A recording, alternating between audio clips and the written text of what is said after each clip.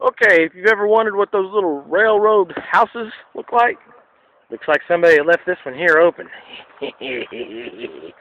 Hmm, what's this say?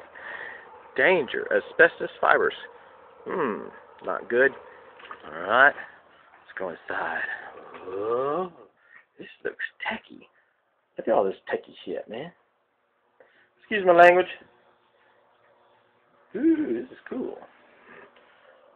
Hmm. That's dangerous. Dangerous.